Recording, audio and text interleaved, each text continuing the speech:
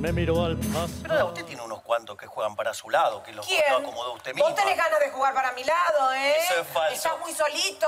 Están de novios hace 45 días Javier Milei y Fátima Flores.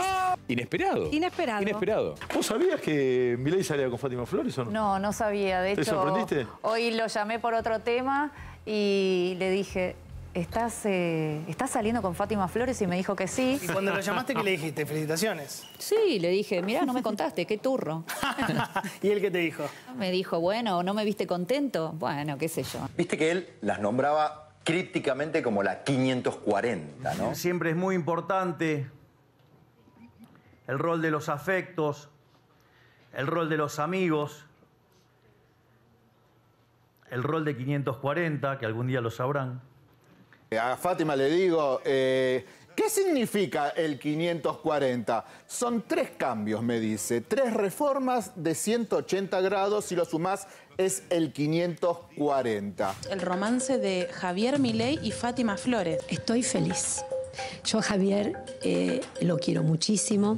Fue una relación que tuvimos de muy linda. Ya me dijo el otro día, digo, ¿qué superhéroe sería? Porque yo le dije, a mí me encanta Iron Man. Me dice, yo me, yo me identifico más con Thor, dijo. Apa. Me Por el martillo. ¿Por qué? bueno. me acuerdo que hablaban mucho del sexo tántrico. Sí, Ah, sí, claro, claro. Yo me acuerdo de eso también. Con Daniela lo, lo llamamos un Ahí sí monopolio bilateral. charlar. ¿Y el sexo tántrico practicás? Sí, claro, fui profesor. Yo soy más penosa de hablar de las cosas privadas, pero, pero sí era tal cual.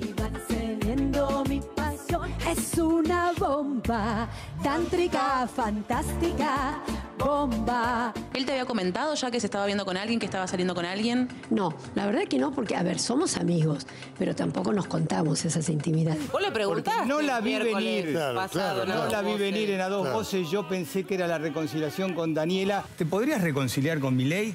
Y ella dice, mira, yo no hago futurismo.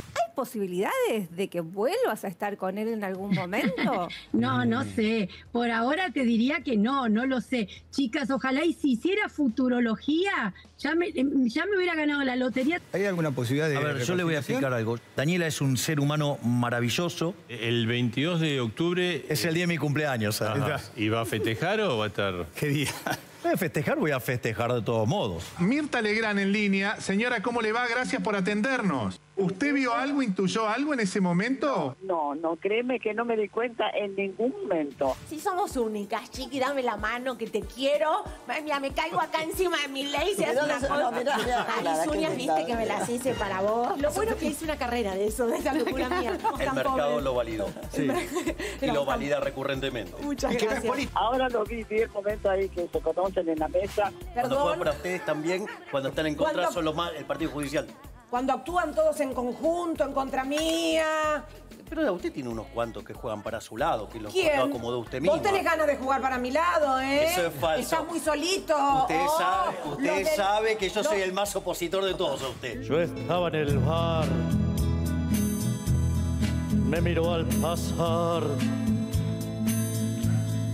Yo le sonreí. ¡Ay, te lo pido! Por fin un poco de color. Vieron que siempre se analizan, ¿no? Las parejas, los políticos se les suman, no les suman. Sí. ¿No? ¿Para vos? ¿Qué pasa esa cara? Ay, chicos, es raro este blanqueo después de 10 días de haber ganado las pasas. Pero te hago una pregunta. ¿Le crees o no le crees? Pero Nati, para con mí tu está todo criterio. pereza. A ver, una pregunta. Nos tenemos que ir al corte. Pregunta, hay algo. sacar 30 puntos y ser primero, tiene que buscar un efecto para qué. Si le fue bárbaro la elección Eh, y todo el mundo para, habla de para él. que es una primera vuelta. Eh, la pará. A ver, presidente corte. solo.